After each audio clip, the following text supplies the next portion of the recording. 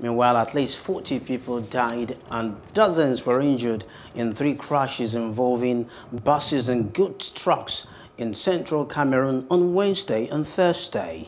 That's according to Transport Minister Ngalle Bibehe.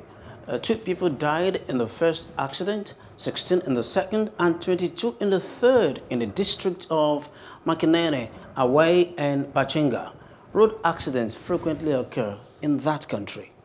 Hello, hope you enjoyed the news. Please do subscribe to our YouTube channel and don't forget to hit the notification button so you get notified about fresh news updates.